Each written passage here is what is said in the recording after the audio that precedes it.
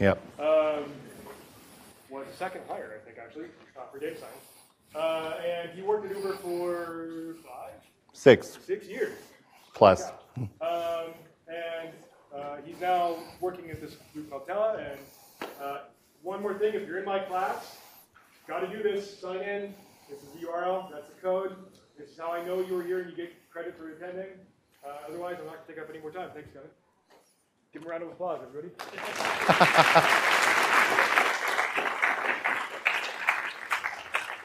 Cool. Thank you. Thank you for having me. That was pretty actually wild. I wish I had the power to just command a room of like 450 people to applaud me. Um, that's pretty great. Um, yeah, so like Brad mentioned, my name's Kevin Novak. Uh, I've been working with Brad professionally in the Uber sense and sort of spiritually in the sense of developing data science now for the better part of six, seven years. Um, and so, of course, when Brad told me, hey, you got to come down, meet my class, it's 450 people, I couldn't possibly turn this down. Um, topic here, little loose, little informal. Um, I didn't want to do some things super quantitatively rigorous. I didn't quite know exactly where you're at. Um, and so Brad said, everybody wants to know how did you get into data science and like what are you doing in your day-to-day job right now? So that's basically what uh, this talk is about. Before I get into it, AV situation, okay? Can you hear me? Is there any like weird echoes? Perfect. Okay. So I'm a big believer in the like, tell them what you're going to tell them, tell them, and then tell them what you just told them style of presenting. So here's my agenda. Um, I'm going to do this in sort of reverse chronological order. So first thing, just talk through Tala, what I'm up to now.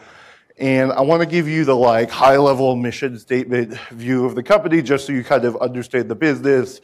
Um, secondly, dig a little bit into some of the key data science problems which we're really digging into at this moment.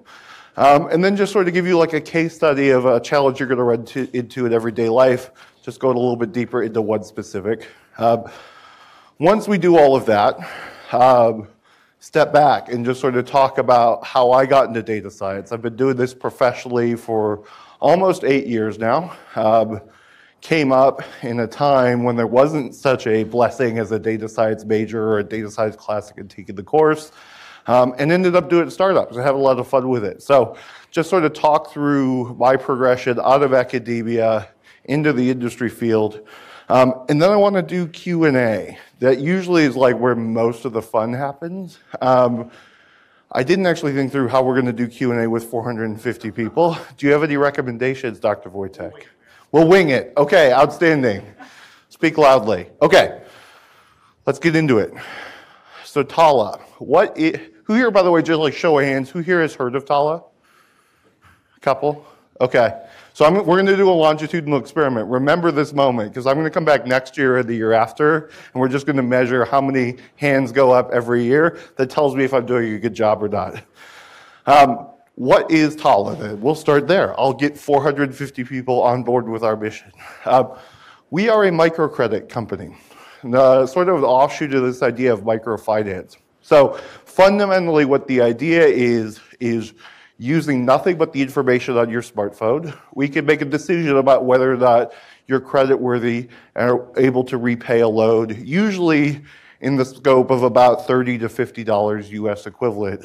Um, why is this useful? We've actually developed a sort of business plan which enables us to go into emerging markets, East Africa, Southeast Asia, India, Mexico, really interesting, um, and deploy a system which is like hyper optimized for getting people who have never had a bank account, had never had a credit line before, and get them access to ethical credit. And what I mean by that is it's very common in these parts of the world, some of you might be familiar with this, to have something which is like akin to like a payday lender or, you know, a you know, somebody who's giving you like, you know, the VIG is 30% a week, and if you don't pay, I'll break your kneecaps, right? Like, this is a much more traditional approach to here's a loan, we have an upfront fee, but no carried interest. Uh, and when you can pay it back to us, you know, we're going to start building a system to, to sort of change your behavior, train your behavior into building an awesome financial system. With me so far? A couple nods, you've got them well trained, excellent. Of course, I'm an executive at a company, so I have to start with a mission statement. Um, Tala's mission statement is unlocking financial access, choice, and control for underserved people globally, one financial identity at a time. That's just like a very highfalutin way and a much more concise way of just giving you the rundown I just gave you. Um, let's see. Covered most of this. I, built, I kind of built this deck so that like we could take this, you guys could look at it offline. So there's going to be a lot of text that I just kind of like talk over. Um, you know, pay attention to me, not the words too much, but if you get lost or want to review, most of what I say is in the text. Um, one of the big things, just think about our, our, expansion plans. You start with this sort of microcredit product. How can I make consistently good decisions about credit worthiness, uh, about people's ability and willingness to repay? But you want to really expand it to not just credit, but also giving people savings, basically a place where they could store, save, and build their money when they're not, so you're just sort of borrowing on, on margin. Um, and finally, insurance. Basically, how do we create a situation where these sort of once in a lifetime or you know, once in a decade events which have uh, a pretty significant uh, financial implication for people. How do we create products to just help people prepare and sort of mitigate for that? If you can do credit, savings, and insurance, you're well on your way to sort of being able to use financial services like a pro. You got me? So, I mentioned most of our customers right now focused in East Africa. So these are actually some of like our first five customers. Oh, it came out surprisingly well. We're, I'm sort of workshopping this image just because you know, like low focus. It, it's not super great to see. But um, our biggest market by far is Kenya. Fun fact, we're actually, Tala is actually the third most popular app in Kenya. So it goes WhatsApp, Facebook, Tala. So Mark Zuckerberg, I'm coming for you. um, we've expanded into Tanzania. We're looking into Uganda, but basically, like that part of Africa um, has been really excellent for Tala for a couple uh, of fairly straightforward reasons. One, the mobile payments ecosystem is incredibly well developed in East Africa. The idea of like paying for your cell phone or paying for your groceries using your phone is like not a foreign concept. Um, in many ways, they're actually, I think, ahead of, of the United States in this regard. Secondly, smartphone penetration is off the charts. I'm not sure how much you guys have seen about this data, but smartphones are like coming to the developing world in a really big way, and it really came to Africa through Kenya. Smartphones are excellent. They're the data scientist's best friend because they're like one of the coolest, most high fidelity, most globally accessible pieces of data acquisition equipment that you can leverage as part of your careers. Uh, obviously, there's like a uh, technology layer you have to build on top of that. But smartphones are an entire prerequisite for Tala. They were a prerequisite for Uber. I think they're a prerequisite in many ways for a lot of the future data science products. We could talk more about that later. Okay. Just a quick snapshot of the product. So basically, it's an app you download on your phone, sign up, punch in a, bu- a bunch of information. We've clocked people. It takes you about three minutes to punch everything in. Um, and then in about three more minutes, we can come back to you with a credit decision. Congratulations, you qualified for you know, a thousand shilling loan, a 5,000 shilling loan. Um, so the idea here is like relatively easy to apply, incredibly quick to get a decision. You know, the idea is like, you know, you're walking to the market, you want to buy your groceries to pay to organize your food stand this week. Like, by the time you get to the market after having led home, you will have received your loan. Make sense? Okay. Now, that's the business, right? But we're data scientists. Let's talk about the data science problem, right? Three big ones we're really focused on right now. One is smartphones, as I said, are incredibly wonderful data collection devices, but they're not very good identity verification devices, right? You could absolutely pick up somebody else's phone uh, and apply for a loan pretending you're them. You could use your own phone and use somebody else's information. Congratulations, I'm Brad Voytek. I'd like a million dollar loan, please. Thanks. Um, so there's sort of just a fundamental identity problem. How do we make sure that the identity information that's being enter- entered into our credit application is valid, right? Second problem, the loan default problem. What happens if you get a loan and you don't pay it back? I wish I could hire knee breakers. Actually, I don't. I'm kidding. But, but you sort of have this problem of like, hey, what happened, right? Um, when you are interacting with your users through a smartphone interface, that presents a unique challenge, right? And finally, there's the credit score problem, right? That as people exhibit a pattern of creditworthy behavior, right? How do we, one, track that? Two, how do we use that to make better credit decisions? Congratulations, you qualify for a bigger loan, say. And third, how do we like communicate that information to other folks, right? How do we build like a technologically scalable way of saying, like Kevin's been paying back loans successfully for the last six months. He's one of our best customers. He absolutely deserves a loan to take to you know a know, $5,000 loan to uh, open a new restaurant or something like that. There's just this like sort of basic idea of like how do we quantify somebody's credit worthiness in a world where like FICO doesn't exist. Okay. See, I got memes. I'm hip. okay. So, I'm going to go deeper into that identity problem. Remember, right, we have this problem of how do we, we kind of, if you're not thoughtful about it, it's very easy to not understand who the identity or who the person is and whether the person who is standing in front of the smartphone is the same person whose identity is being entered in a loan application. So we kind of have to solve that problem. And we have to do it at a distance because we're data scientists and we're sort of working at the level of data. Thankfully, we have a business operation uh, that can help sort of augment that process. And you'll see what I mean in a second. So, first, one of the easiest things for us to get signal on, right? Think about this like a data set where you've got sort of transactional information on one side and the label on the other side. A loan was not repaid, the label was not paid, right? What's possibly going on? So you have a couple opportunities, right? Somebody wasn't able to repay their loan and they say, you know what? I had a crazy week, I had a crazy month, I'm a little bit behind, I'll make it up to you next week, right? This is a situation where we'd like to know it, but this is not an emergency, right? Life happens, things get in the way. It's the reason it's called a credit line, and you're allowed to sort of, you know, carry this balance over time. But it'd be nice to know if we were absolutely sure whether somebody was going to repay in the near future. Second possible situation, right? Somebody says, you know what? I just can't afford to repay this loan. I thought I could, you know, like, like life was organized in such a way that, you know, I make hundred bucks a month, a $50 loan isn't a big deal. And truthfully, they don't actually have the ability to repay. Life is in their way, their bills are too high, what have you. Customer wants to repay, but doesn't have the ability to repay. What's interesting about this situation is it's actually me not doing my job, right? Part of my job when it comes to qualifying somebody for a loan in an ethical way is being able to mitigate this problem, right? You kind of have to be able to predict it and assess people's ability to repay, not just their sort of intent. Third possible situation. Customer doesn't intend to pay because they never intended to pay.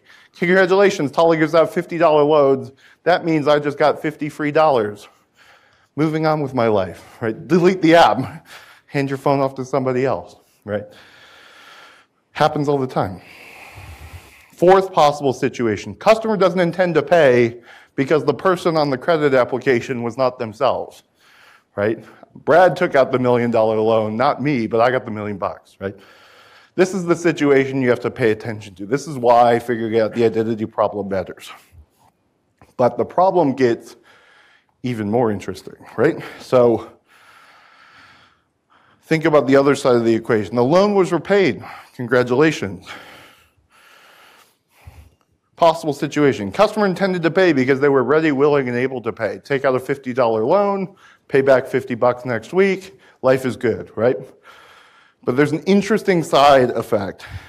Customer paid because they used a fake ID and they plan to defraud us once the loan amount increases, right?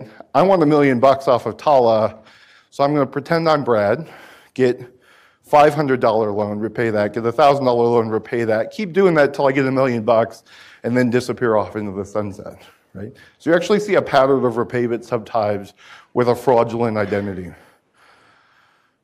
So, the identity problem, why, why pick up on this is I think it highlights probably one of the most classic situations you're ever going to run into in real world data science when you sort of step outside the textbook, which is the thing you see, as in the thing which, for which it is incredibly easy to get labels for, is not actually all that informative. Oop. Oh no. It's not actually all that informative because the two cases you want are actually in both sides of your labeled data set. Does that make sense? So, how do you actually solve this in the real world? This is what we're going through as a problem solving process. Um, and sort of just gives you a taste of sort of how this works, right? We go back to this world and we say, okay, a loan was not repaid. I, I can't share exact numbers, it's a little, but you can assume that the bolded category above is significantly more common than the bolded category below. The, the one above is actually considered sort of high frequency, low exposure. You know, like it happens more often, but you know, we tend to lose $50 at a time. The one below is low frequency but high exposure. You know, it happens once a year, but the order of magnitude loss is significantly bigger. So when it comes to building a data set, you always go for the high velocity problem. So we actually have an investigative team. So you take this labeled data set and you say, okay, let's pull a random subsample of people who didn't pay their loans and just call them up. Say, hey, what's going on? You know, sometimes you can do it as a third party because there's sort of a um, I forget the exact term, but essentially people are embarrassed to admit that they wouldn't be able to repay a loan, right? So call them up and sort of say, hey, what's going on? Usually, if they don't pick up the phone, you sort of have to repeat it. You can sort of pretty safely conclude that this was sort of fraudulent behavior at sublevel. Um, so use that to start to actually fill in the true labels on your data set. Right? Your team can come back and say, not only did they not pay, but after investigation, we couldn't validate their identity. You start to build a higher fidelity data set using nothing but good old fashioned human sweat and ingenuity. Second process, once you have that sort of refined data set, again, smartphones are your friend. So Tala collects a ton of information off of your phones. Oftentimes, this is for both the purposes of assessing your creditworthiness, but also for the purposes of assessing whether or not you are actually the person you say you are, right? Social networks are incredibly informative about this. Um, your text messages, believe it or not, are incredibly informative. We do not read your text messages, but there's an interesting fun fact, right? The number of languages you speak is in the top 10 most informative features about how likely you are to repay a loan. And it's actually inversely correlated. So the more languages you speak, the data is showing us that the customers we have, to be precise, the customers we have who are more multilingual have a higher default rate. They're less likely to pay uh, loads back. Which is interesting, right? Because you think this is one of the interesting situations of having a customer base which is sort of eight time zones away, three cultures away from, from you, right? You think in the United States, in Western culture, sort of rough rule of thumb, how multilingual you are roughly correlates with how much education you have, which roughly correlates with sort of your socioeconomic situation. In emerging markets, it's actually, we hypothesize it's actually different. That being multilingual is indicative of people who, for example, um, exhibit more migratory behavior. You have to sort of move to different parts of the country for work. So it actually could be indicative of less financial security than more financial security. Um, so that's sort of like an interesting data point on, on creditworthiness. The other thing we tend to look at mostly when it comes to fraudulent identities is you just sort of like look at people's app install behavior, right? Nobody in the normal course of life installs like 85 apps in a row, right? Just like big, big, big, big, big, big, big. And so you can actually look at people's sort of behavioral patterns. How are you using your phone? Or did you send 5,000 text messages at a rate of like one every 10 seconds? Well, you guys are college students. You might actually send text messages at a rate of one every 10 seconds. But in the normal course of life, that's a highly unlikely event. It could be indicative of somebody, say, filling a phone with fake data to, to apply for a loan, right? So those sort of behavioral signals, which you can parse off of a phone, or respecting the sort of anonymity of the content of any one device, are actually incredibly informative in detecting fraudulent behavior. And finally, augment it with third party data. So, um, For example, there are companies which um, can map uh, IP addresses to physical addresses. There are companies which, there's one that's actually incredibly common, you guys will probably be using it, some of you will in your capstone course, that's called Emailage. So I could tell you basically, if somebody provides you an email, how long ago was that email created, right? What was the first time that, that somebody sent an email using that address? Rule of thumb is, is if you just invented your email to apply for a load, that's a bad side, right? You want sort of a pattern of behavior. Um, other good third-party data, um, there's a company called SafeGraph, which uh, collects and sells location information.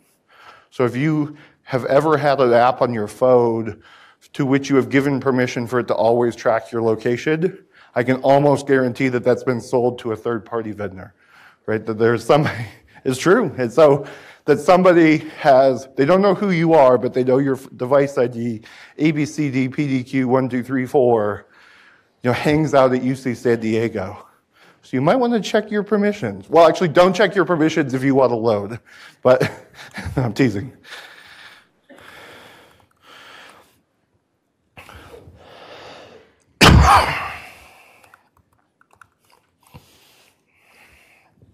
Cool. All right.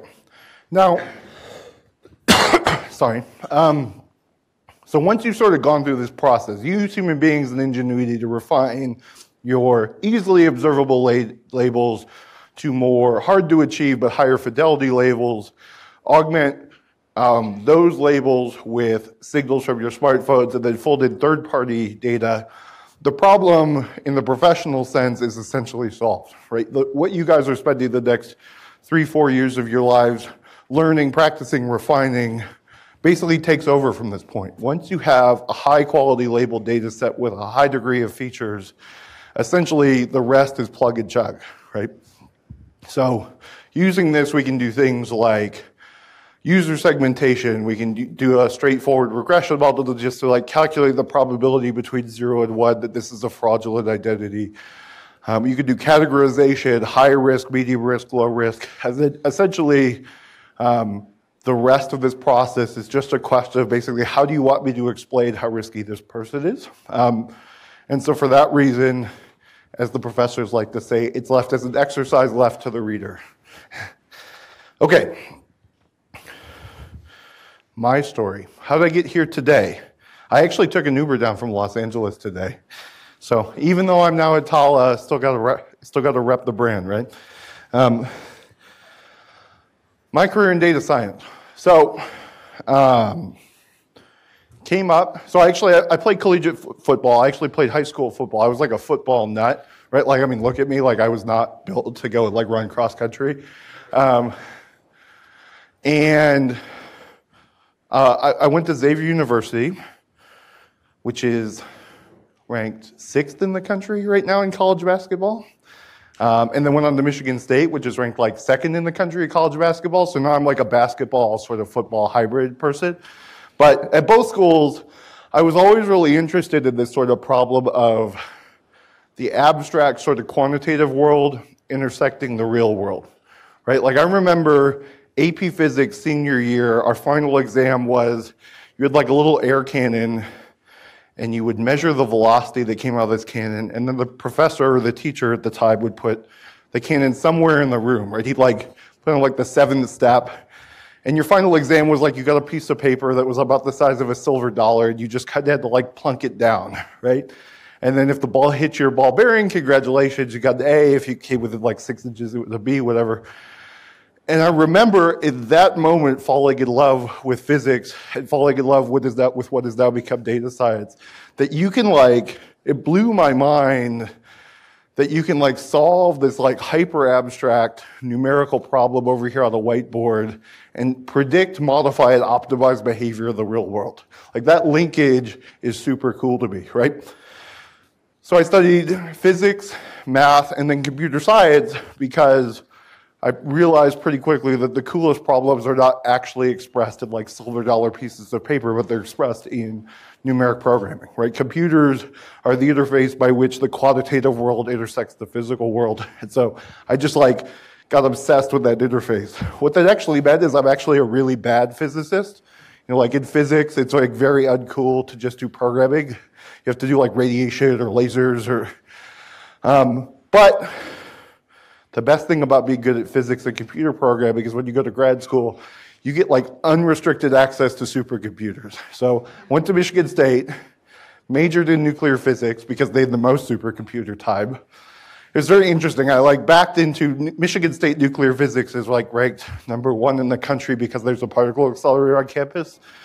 And I like never studied nuclear physics, but I've backed into this super prestigious program because I knew how to program. So like all of you take CS, you'll never know how useful it'll be.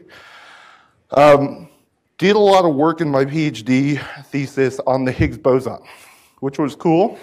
I get to brag about it now. The downside is it was discovered about two and a half years before I finished my PhD. And for those of you not familiar or about to go to career into academia, that means I ran out of money about two and a half years before I finished my PhD. So I did the classic entrepreneurial pivot, walked around the campus, tried to find a home for my research. Thankfully, we were able to sort of shim it to fit into some meteorology grants and some galaxy formation grants. Those of you in research are sort of like nodding in agreement, like you, this sounds like a very sympathetic story. But I didn't want to do galaxy formation or meteorology. So in the in the entrepreneurial parlance, I seeked an exit, right?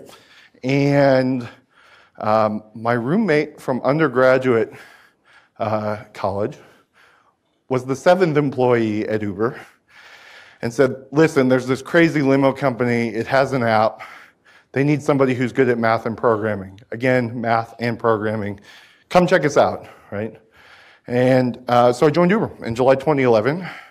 Um, Brad was actually already working at Uber at the time. I'm not sure if he's told you those war stories. If not, you now know. Um, and spent the next six years of my life building um, the world's, at least a system aspiring to be the world's most effective transportation system.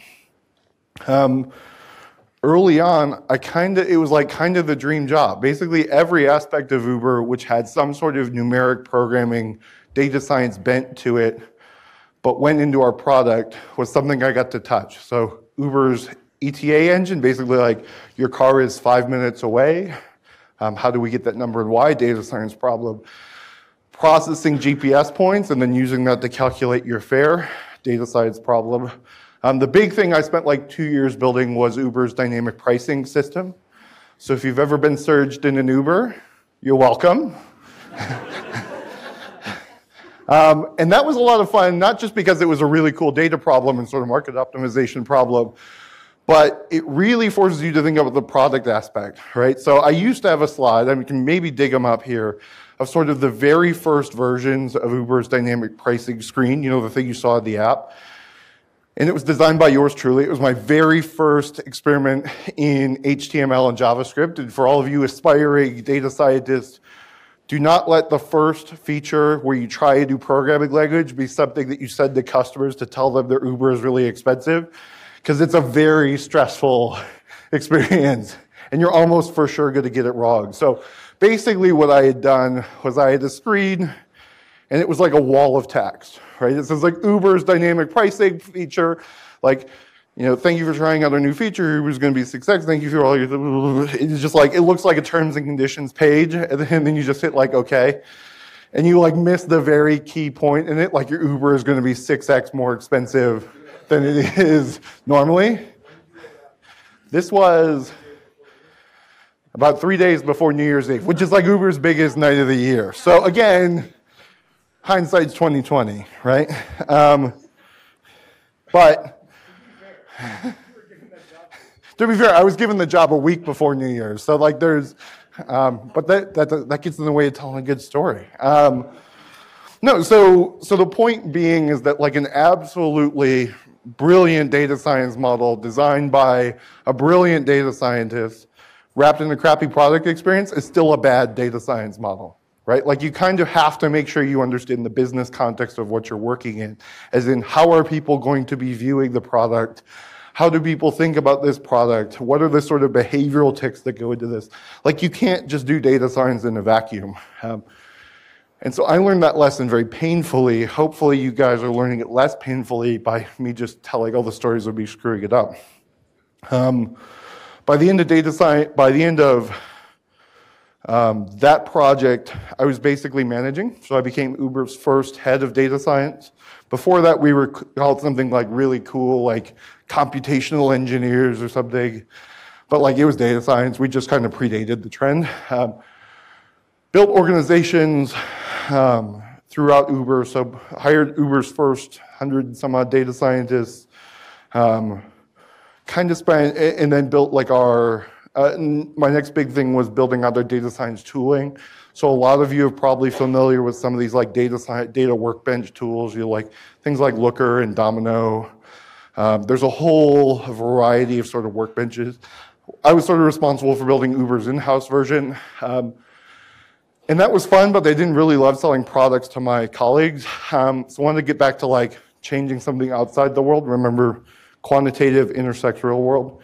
Um, so I spent my last year at Uber building Uber Freight, um, which is a brand new product that's been growing like gangbusters. That's basically the, the Uber approach, peer-to-peer distributed rideshare network applied to long-haul trucking. Right? So how do we connect uh, truckers who have uh, the ability to move freight with people who need stuff moved? Um, that went through September of 2016, and after six years, I was excited to take on a different kind of data problem. Um, so I did a quick gig as an EIR, which um, stands for Entrepreneur in Residence. It's basically a holding pattern. You help due diligence on companies for venture teams, think about founding your own thing. And I actually just joined Tala in December. So all that blurb is all about three weeks of knowledge so far. So I'm doing pretty good of evangelizing the company, if I do say so myself. And this is always fun. People always ask where did it start. I literally went up and dug up the email. So I worked for Travis directly for about three years. Um, and a lot of people ask me what it's like, and the like most politically correct and, and frankly accurate answer is like everything you've ever read about Travis Kalanick is like both good and bad is like verbatim true, pretty much. Like it all just sort of cumulatively is like, yeah, that's about right. is that like regression towards the mean in some PR sense almost? You know, like, yeah, it all averages out to accurate, right?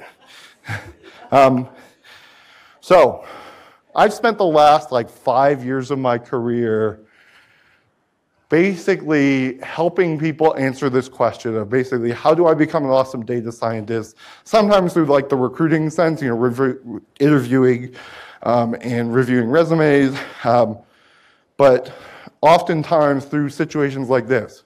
Um, I got into academia. I actually went to, to graduate school um, because I wanted to be a professor one day. Like this is like was actually my dream job. I like growing people. I like helping people figure stuff out. Um, I disliked everything else about academia, but I love teaching. So um, I'm extremely excited to help folks find their way in the data science world, whether it's uh, personally or sort of collectively. Um, I, actually, we are. There, I saw this. There are two. There are two data science professorships open um, to help groom the next generation. But top five most common misconceptions I've run into thus far. One is, do I need to know coding? Right? Do I know too much coding? Do I not know enough coding? Do I know the right coding? Right? Like coding is just this thing I just like get a big sense of anxiety from. And, and the thing I say is, is yes, you do, in the sense that some semblance of coding is required, right? How quantitative models and the sort of abstract mathematical world intersects the real world most efficiently both on the ingress and outgress through technology. You could acquire more information at scale to make better decisions through technology. You could affect the world and sort of deliver your model outputs to the world most effectively at scale through technology. That means you kind of got to know the lingua franca of how to do that. You got to know coding. But at the same time, my metaphor of the moment is it's like a spoiler on the race car, right? Like you need it to do the job well, but it's not like what the guy sells you on, right? Like, look at this amazing spoiler. It's like just kind of there, right? It's a means to an end. So when you think about this from the lens of like, how do I sell myself to a company? How do I sort of get started in this whole data science scheme? You're making a sales pitch, right? You're selling yourself in the value you add to a company. Like, you don't need to lead with I know coding or I don't know coding, right? Your most valuable skill set you're developing is right here in this room the ability to take this sort of abstract business problem turn it into some sort of quantitative system, work that system to get an answer, and then use that answer to change something about the business. Right? Like that workflow is incredibly valuable. The fact that like maybe you're great at coding or weak at coding is sort of like the secondary or third bullet point, right? So don't stress out about it too much. Study it, but don't freak out about it if you have some gaps. Secondly, my research does or doesn't matter, right? The fact that I was at a number one ranked nuclear physics program did not actually get me the job at Uber, right? Um, but the fact that you know research, that you have done research, your research experience is valuable in the sense that it tells people who are looking at your resume, who are interviewing you, that you're comfortable sort of faced with this unknown, unsolvable problem and making progress in it. Right? It's very easy for people to be faced with like, boy, this is a hard, maybe impossible problem, and they can just sort of talk themselves out of making any impact. Like if you do research, you're basically practicing the ability to answer unsolved questions. And essentially that's most of what data science does every day. So that sense, it's valuable. But you know, whether the pedigree or the number of publications or the lab you're part of matters, kind of depends on the company you want to go for right? Like rule of thumb, larger companies care more about pedigree than smaller companies. Smaller companies care more about hustle than bigger companies, right? Like if you could tell the story like my story of I ran out of money, I worked every department in uh, Michigan State to find a home for my work, was able to sort of land it safely. Like that carries a lot more weight for a smaller company because it tells me it tells them I'm good at sort of scrappy problem solving much more so than saying I had a high pedigree department. I think if I were to go to work at like Microsoft or Facebook or Google, like that could be a little bit different, um, but just something to think about. Let's see. Sorry, this keeps shutting off. Third bullet point. On your resume, single biggest complaint Tell me what you've done, not what you know, right? Every resume bullet point should start with a verb. I want to know basically not, oh, I know MCMC really well, or, you know, I studied neural nets a lot.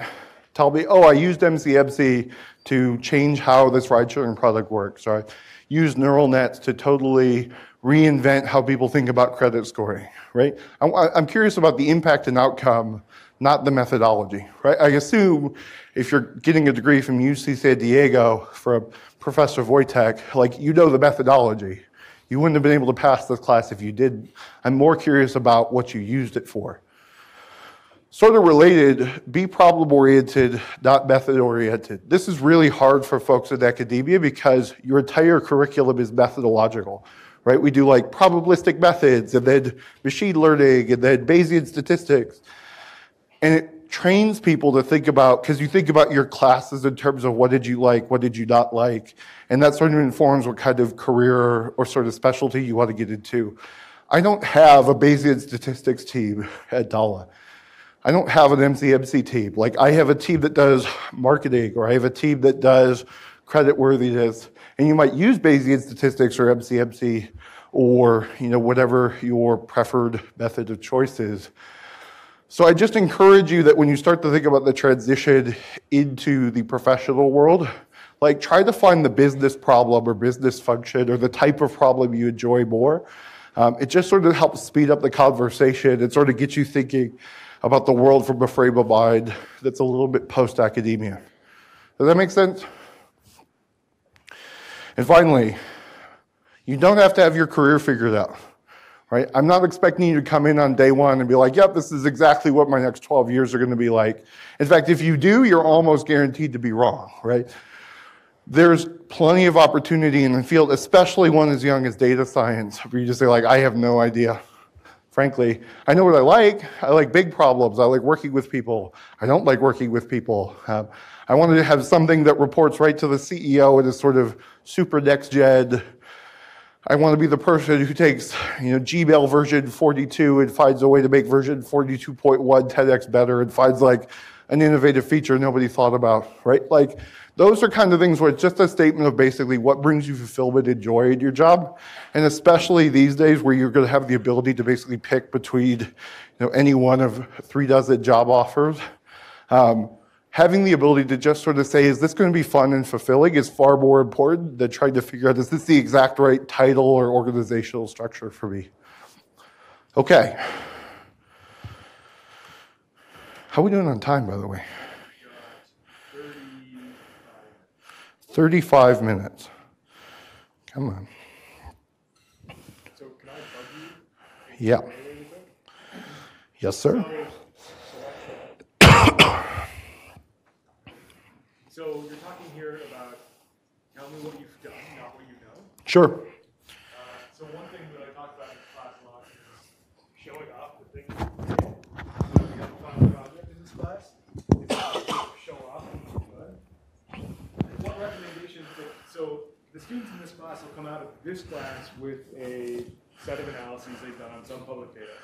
What other recommendations do you have for people who don't have graduate degrees that want to go work in data science in order to bolster that portfolio so that they can overcome any kind of hurdle that they can show what they've done. Sure. So the question was, I'm going to paraphrase it a bit, but say you're somebody who's coming out of a, a degree with a bachelor's degree and you're trying to figure out beyond your final portfolio, what are other ways you can sort of show me competency in data science? Like, fair summary? Um, yeah, great question. Um, Totally not teed up, by the way. No. Uh, um, so I think there's a couple ways. One is I think when it comes to internships, we're just finally like sort of as a collective getting to the point where we have a data science internship program. Like sort of, this is just not hyper data driven, just sort of gut feel driven. Um, and because the internship program is so young, people tend to be very choosy. So if you're trying to come out of this from the point of view of a um, trying to get a data science internship, companies tend to skew towards um, trying to find people in their master's years or maybe late PhD years to find internships. So I don't actually recommend trying to hang all your hopes on like that one cherry data science internship. You're just coming at it from a little bit of a disadvantage you can't fight. Instead, I would actually try and get an internship which gives you exposure to some of the other workflows in this. If there's opportunities to do research over the summer, especially any kind of research which involves programming, um, uh, software engineering internships, um, even just basic entrepreneurial internships. I mean, I, there were data scientists I hired, um, some of them based on just you're a great fit for Uber because you spent the last three summers driving for Uber, right? And you know the product plus a little quantitative know-how means you're a really effective person. So if you can even just get exposure to the sort of problem domain you're excited by, um, um, I think that those are all going to give you a lot of points. Um, secondly, uh, don't be afraid, especially if you like going for startups or sort of earlier phase companies. Like, don't be afraid to just show off your own personal GitHub account. Work on side projects, things that you're fascinated by, interesting problems. Um, I had a, a, an entry level data scientist, had never done a um, graduate degree in their life, and they showed me a GitHub where they had like written um, computer graphics code to basically calculate the like chloroplast, the lines that you see on the bottom of a pool. You know I'm talking about? If you're at a pool, that there's sort of those weird like white lines that go across the bottom of a pool. It's actually just like a, a light refraction problem. And so they just said like, hey, this was interesting to me. It has no literal use, but I was able to calculate this program. Just show off what you built on the side. Um, somebody presented me a data-driven reason why Steph Curry is not the best NBA player in the world. Once, bold. I respect bold. Um, you know what? Like, it doesn't have to be this sort of perf- perfect, you know, perfectly manicured pedigree. Show creativity, show enthusiasm, and show the ability to sort of put that quantitative and, and sort of physical world together, and you're, you know, 50% above most the average candidate. Okay, I wanted to get this up. You know what? I'm going to quit trying to open this. Basically, it was just a thank you slide. Brad will have my contact information if you want to get hold of me afterwards. So I want to segue into about 30 minutes or so, maybe a little bit less, of Q&A, um, just to leave some time at the end for anything that comes up. So how about the way we'll do this, because I got the mic, is uh, raise your hand, tell me your question, I'll repeat it into the mic, and then we'll go from there. Fair? Who wants first question? In the front. You're making it easy on me. Who reached out to me at Tala? Good question. Um, so Tala was a really interesting conversation to have. Basically, the, this conversation, which over time led to me joining them, um, about 2015, 2014, um, I realized I kind of missed early stage companies right? Right. Uber w- was and, and is um, a really special experience, and there are a lot of positive aspects of it. But I kind of missed that like phase of like ten people around the conference room table, just kind of figuring it out. Um, so the best way I could think of to get exposure to that was I started advising and investing in companies. Basically, go to early stage founders, say your idea is super cool. I'd love to figure out a way to help. If you need capital, I'll be an investor. If you need advice, I'll be an advisor. And so Tala actually started out as an advising conversation about maybe a year, year and a half ago. And I was really intrigued by them because, again, they sort of checked this physical world, quantitative world intersection problem. So that's one thing. I really like problems which are sort of right about to go through their exponential growth phase. And I'm convinced Tala and sort of microfinance is too. Um, and so it was just sort of a company I was really intrigued by. I got to meet the executive team um, and, and, really found like that they were colleagues I respected. They were sort of right in that intersection of people for whom I thought I was being uh, value added, but also learning a ton. Like if you ever find people like that, like glue yourself to them. Like they're the most valuable professional relationships you'll have. Um, and it was interesting in like late summer. I helped them write the job description for a chief data officer because they were like, oh, we want to go hire somebody. I was wrapping up at Uber, needed a break. Um, and so I said, well, I'll help you write the job rec, right? Be helpful. And then like four months later, they came back and were like, did you like write your biography kind of thing? Like I, I don't know if it was conscious or subconscious, but the job rec was basically like my perfect job or the job I was really dreamed of. So after like three or four months, they talked me into it, and I've been loving it ever since. And in the back.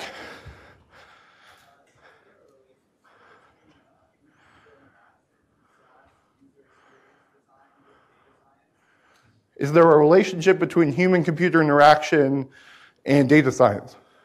Yeah, absolutely. I mean, I think that the, the sort of case study I was talking about with the surge screen, um, that, you know, the sort of poor user design, absolutely impacts your ability to do data science well. You, they're, they're, in many ways, they're intrinsically linked. Um, I think a good, there's a couple companies um, which have gone through phases where they kind of forgot this. I think that there's a tension in it. For example, um, Airbnb very early on, basically from day one, Airbnb has been like obnoxiously, disgustingly beautiful, right? Like they just have this like amazingly designed product. And so they would build these interfaces which are basically about they're trying to serve the business function of how do I connect somebody who needs a place to stay with like the best possible home for them. And they forgot to put like any analytics into the system whatsoever. So they have this like obnoxiously beautiful framework, which doesn't actually help them. Like, like they were actually fulfilling um, Airbnb bookings at any higher rate post redesign to pre redesign, despite them obsessing over the sort of HCI elements of it.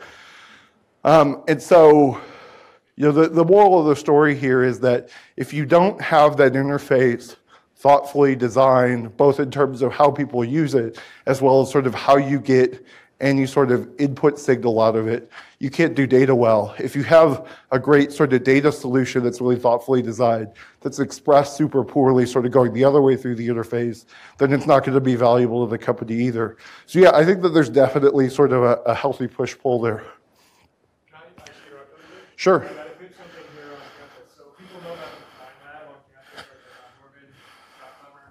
then there's a new data science institute also that we started.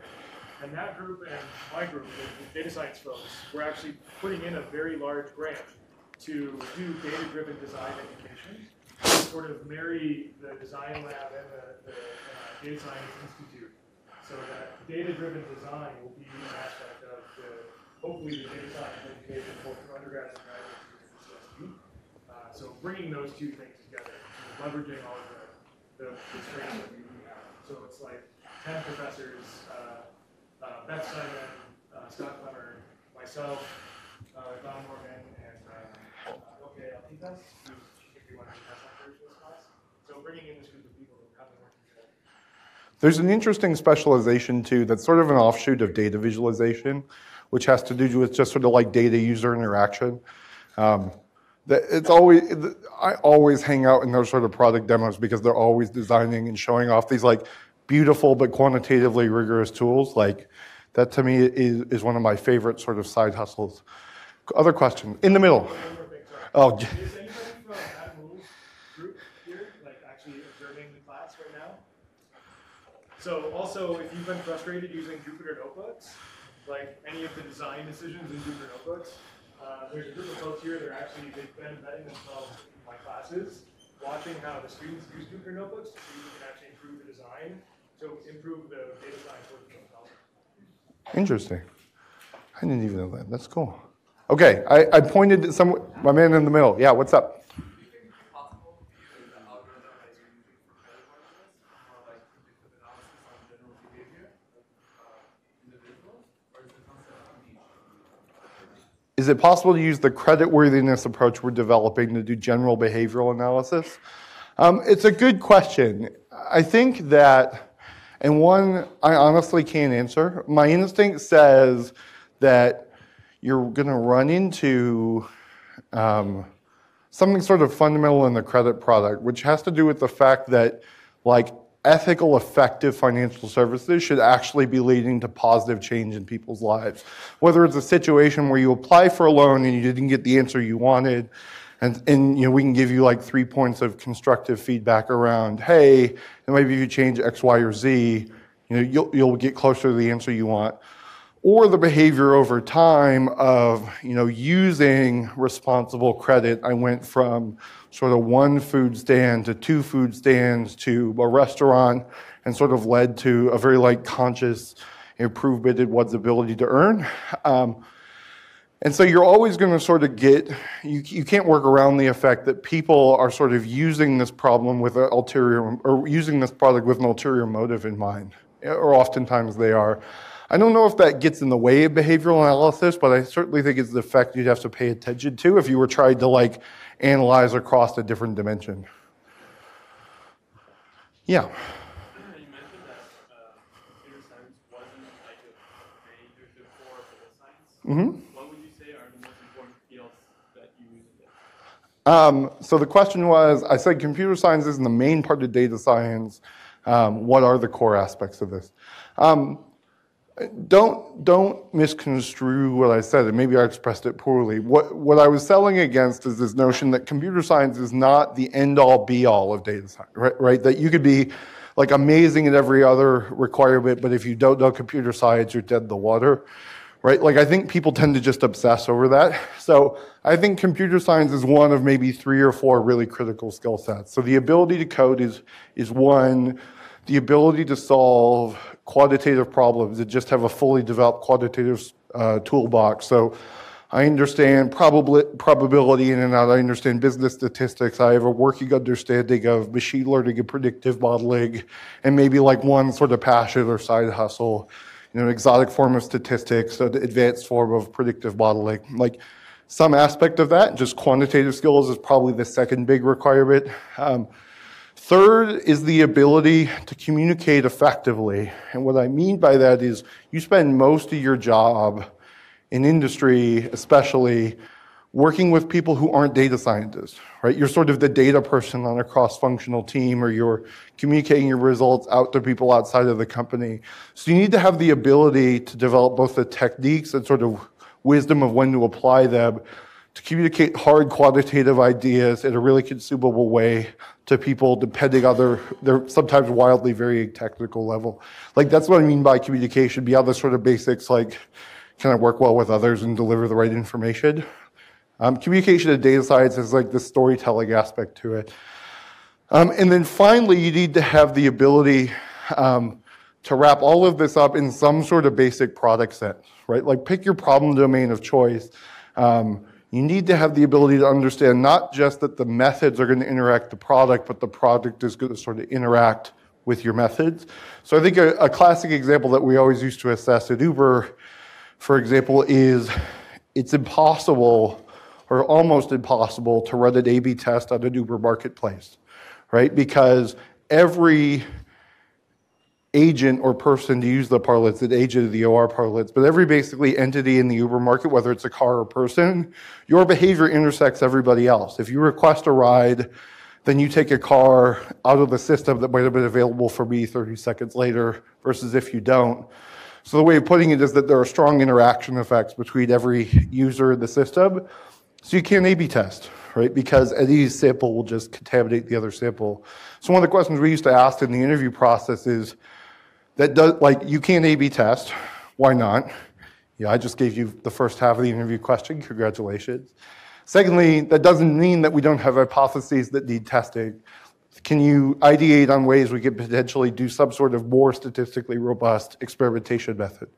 Right? And so you kind of have to like understand how the product works to get why that would be a challenging question but also understand how the product works to sort of suggest other ideas. So the ability to just sort of think outside the quantitative domain is sort of the fourth big requirement.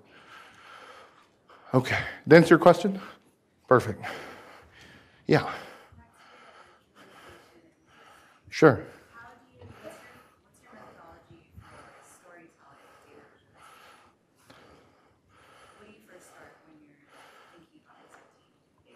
Sure. So the question was, when it comes to communicating and data visualization, what do you think about first? Um, I think that the common wrong way to do it is you sort of optimize for like the shock and awe factor. You know, like I think the most like egregious fault in this is geospatial data. I think many companies are like selling me, have sold me, or we've been discussing building products which essentially amount to like I can take geospatial information and show it on a map, right? And I say, cool, like, and then what are we going to do with it? And we all kind of like look awkwardly at each other for like 15 minutes, and we can't really think about it. So like, but but it looks cool, right? And so the, the sales pitch fundamentally boils down to like, well, it's really cool looking, right? And I'm like, cool, I have a graph and I have a map in my lobby. Like, I don't need another product to do that for me, kind of thing. So, point being, when it comes to data visualization and communication, I usually start with like, what do I want the key takeaway to be? Right? Just sort of like, like what's the point? Why am I showing this information? Why am I occupying, you know, valuable minutes of my colleagues' time? And sometimes the conclusion is like, this actually doesn't need visual representation. Like I can just write it down. Um, but if there are times where like, okay, I need to show this through some sort of visual aid, I usually try and think of, okay, what is the most time efficient way that I can deliver this result while minimizing the risk of misinterpretation, right? And so usually you have to say, okay, here's a graph that just sort of gives you the point. And in startups, they always joke that anything up and to the right is always like the thing you show, right? So find your up and to the right graph. And then think through like, all right, what are the three probably like either biggest questions I'm going to get as soon as I show this graph, or what are the three things people might take away which are incorrect? And then just sort of add supplementary data against those. Does that make sense? Cool. In the back. How do I find the most interesting problems to solve?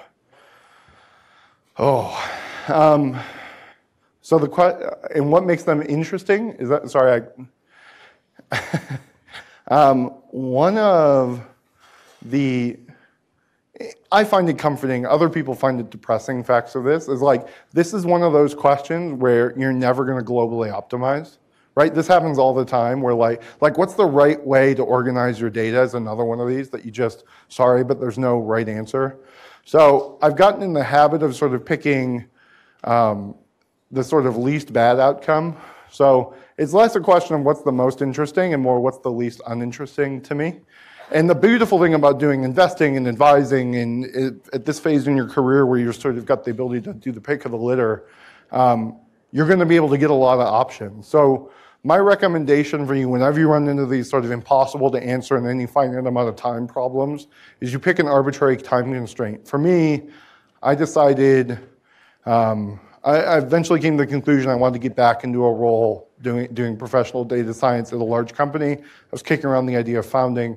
But as soon as I made that decision, I said, cool, I'm going to sample the company space for three months right? Or I think it was 10 weeks, I decided. It doesn't have to be that formalized, but I'm being formal so you get the point. And then just in 10 weeks, at the end of 10 weeks, I'm going to pick the one that I find sort of least bad. And usually, I mean, I'm being you know, pedantic, but usually there are two or three really cool options. For me, interesting is a combination of um, it's sort of the combined optimization of, of, something that I find personally fulfilling. And I've talked a little bit about sort of the things which which just intrigued me on sort of an emotional level. Um, the things which I think provide the sort of most positive externalities for society, right? Like it's very common for folks to take a data science career and trade bonds for a living or do financial services and i you know those forms of financial services and it's not a question of like i'm not casting aspersions on anybody but for me, I just knew I wouldn't be fulfilled working in something that I didn't believe was sort of, you know, net marginally good for us collectively. Um, and then we'll optimize for those two while holding constant you know, the sort of financial and, and societal obligation to have like, you know, my bills are X, I need to make Y, Y needs to be greater than X if, you know, my wife's going to be happy, sort of thing. Uh, so um, that's kind of my process. And the nice thing about this, especially for people, even for you, is like, this is not a high stakes gamble in many ways. You guys have this like beautiful, wonderful opportunity where you're, it's kind of like the, the job seeker's market, right? You can show up at a company and after six weeks, you're like, boy, this totally sucks. I totally misread this. Like you can leave and find another job in 48 hours if you absolutely had to right? Like recognize that that's a luxury that like not many people even in the history of our race, certainly the modern sort of job seeking market have had, right? Um, and so like don't stress out too much about it. Be thoughtful about it. Try and make the best decision, but don't like wrap yourself around the axle about it. Yeah.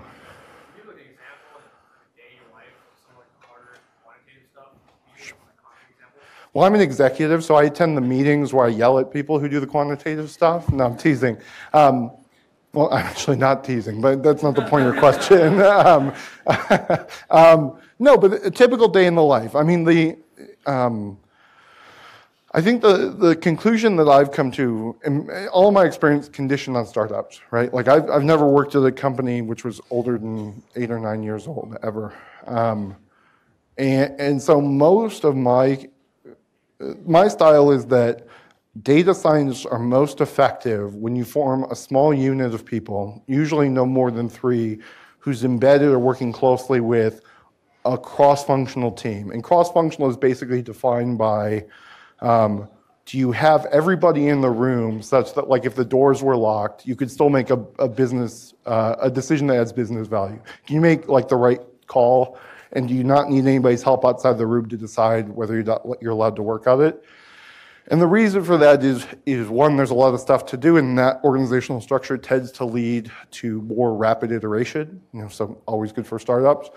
But more importantly, gives the people, the data people who are embedded on the team, the opportunity to just sort of like nerd out and go deep on like one specific dimension of of in my most second most recent experience in like the Uber problem space. Um, and so, like one example that comes to mind um, from Uber, I was working really closely, staff people on the team, and sort of pinch hit as their manager, who was doing customer service at Uber, right? And the idea, the way customer service sort of works macro scale is, on one side of, of the problem, you have uh, customers who have issues and they have tickets that come in, um, and those tickets have some sort of content, what, what the issue was. But usually you can make some fairly basic heuristic based decisions around urgency and prioritization. So, like, hey, my Uber was in an accident, needs a, a lot more rapid response than like, hey, I forgot my Ray Bans in the back of you know, uh, my last Uber. Um, although maybe down here Ray Bans are of equal crisis. Um, um, And then you can make some decisions around like what language it's in, right? On the other side of the problem space, you've got customer service agents. Some of those customer service agents are AI chatbots, some of them are human beings. And so, like the problem, so they said, like, how do we do customer service really well, right? Like, how do we provide high quality support in a timely manner at scale everywhere on the globe, 24 7, 365? And so the data team recognizes, and I sort of gave it away because I'm teeing it up, like this is a dispatching problem. It's the same problem of connecting riders to drivers. You've just got you know, somebody who, something that needs attention, people who can provide attention, how do I connect them on average in the most effective strategy possible? And so the team like just first starts and sits with the business owners and sort of receives that brain dump, thinks among themselves, and says, oh, this is a routing problem. Usually next process is there's, I'm compressing this into like a day in the life. This is really like um, a couple sprints worth of work. Um, usually there's like a, a, research and discovery process. For something hyper academic, it's like a literature review where you just sort of look for does anybody has anybody published a method that might help us connect tickets to drivers. Um, other times it, it's some combination of sort of try it out. You know, oh, I ginned up this sort of fake system which gives us three types of tickets and 12 agents. Um, and I'm just going to sort of test out a couple different methods or strategies thinking that whatever wins in that little mini game will, will ramp up. So you kind of do this like research and development process. The goal of that is you come by the end of R&D to some consensus of this is the best possible thing we can build, conditioned on the resources we have and the amount of time we have to build it in. And then you go through an implementation phase. And for some folks who are especially technical, you know, you're sitting right there with the engineers and writing the Python next to them. Other times, this is sort of a handoff. It's kind of six to one, half dozen of the other. But data always comes in at the end and does some basic sanity checking around. First of all, did you build what we sort of agreed to build? Secondly, how do we roll this out in such a way that the question of did it work is like a statistically verifiable hypothesis and not this sort of like gut feel thing. So Oftentimes, this can be an A B test, this can be uh, a sort of diff and diff approach, but essentially it's a hypothesis validation exercise. And so you sort of, I like to structure teams so that you get to like touch every phase of the process. I think it's more fun, and frankly, for folks who are sort of early on in their career, you get to have a sort of pretty broad exposure that could suggest a specialization later on. Um, but then you roll it out, right? Um, and you validate if hypothesis works, congratulations, start working on V2 or sort of the next, if it didn't work, what is the data telling us about what, what of our original hypothesis was wrong? Does that suggest other work? Or does it maybe suggest we put this problem down for a while? And so we, we've had this system called Bliss at Uber now for three or four years, which has just gone through four or five different iterations of just dispatching tickets to customers um, each with, with sort of, um, can, thankfully, can, continually better results. One, one more quick thing. Uh, if you showed up late and the sign was closed, it's going to be open for five more minutes, so do it now. Oh, generous. Couple more questions. Yeah, in the front. I'm sorry, I don't mean to like pick on this group. I'm just not seeing a lot of hands in the wings. So if you're wait, if you're asking a question of the wings, I need like a double hand wave, okay? Yeah, in the front. Sorry.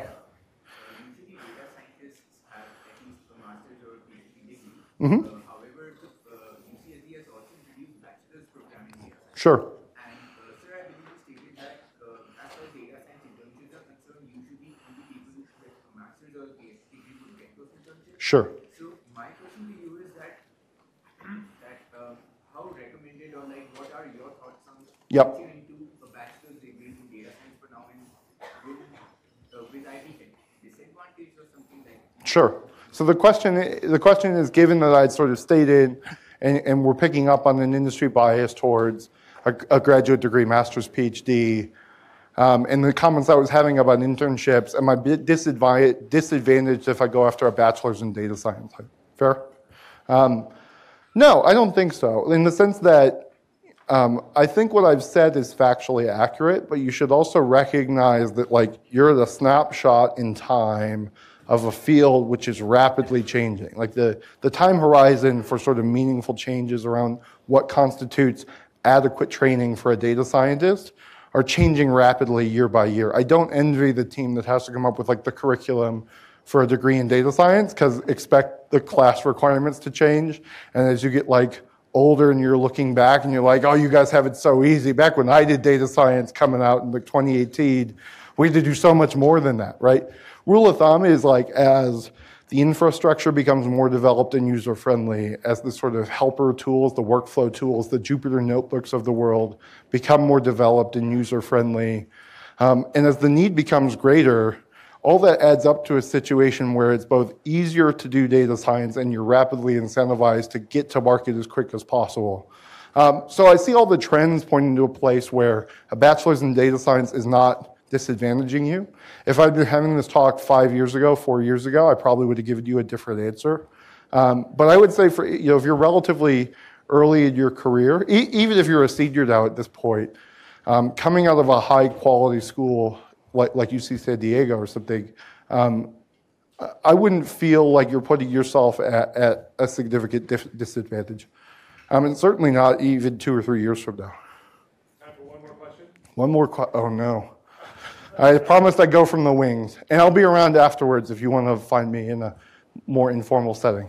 Yeah, what's going on? Mm. So when you're doing, when you're performing data analysis on a data set, how do you jump from the analytical step to sort of the deduction step?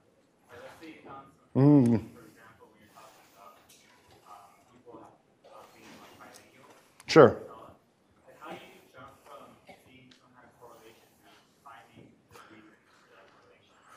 Like how do you jump from, oh, here's the trend, going to what is the real life? Right.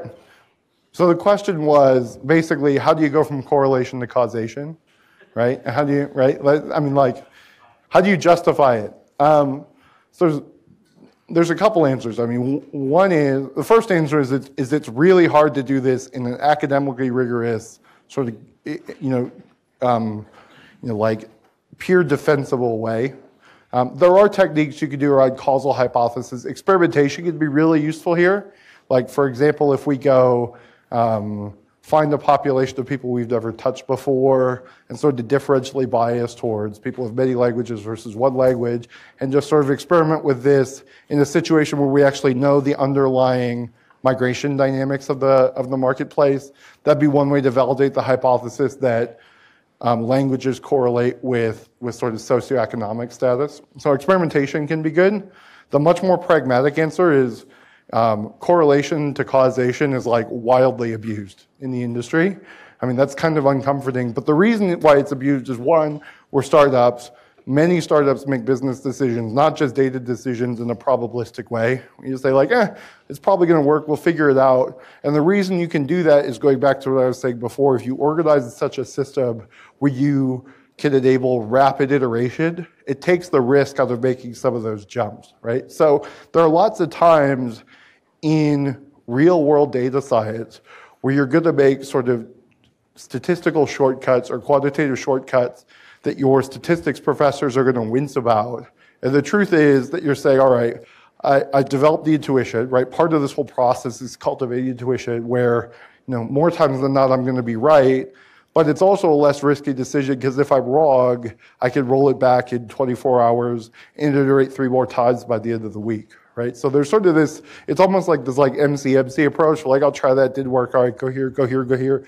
And so oftentimes when you're sort of in the heat of the moment, you could just sort of look at data, look at the correlations, say, all right, this is not a strict causal relationship. If we need to define this, if we need to learn more about this, here's the experiment we could run. If we're okay with this being a little hand wavy because you know it's not existential to our business, let's just sort of work on this premise and say, okay, here's how I'm going to know if this correlation was wrong. Right? You kind of want to look for like what your failure criteria are. So if we suddenly see our default rate go up, despite we go into a marketplace where everybody is sort of uniformly lingual, then we can say, holy cow, okay, the language you speak was clearly not the reason why people were not, were not paying or, or not repaying their loans. Um, that invalidates my original hypothesis. Let me jump back and fix that problem. That makes sense? I touched on a couple things there. I mean, one is, you know, that, that you can sort of make probabilistic decisions if you can iterate rapidly. Secondly, you can make, you can sort of abuse correlation versus causation if you have a strong understanding of what would invalidate your causal relationship. And so you're like, well, I might not know now, but I'll know in three months once I run this experiment or once I run this feature. Um, and the third is if you really have to do it, like experiment, if you really have to get a strict causal relationship, I recommend experimentation more than anything. Okay, that's all the time I have. Thank you for your time.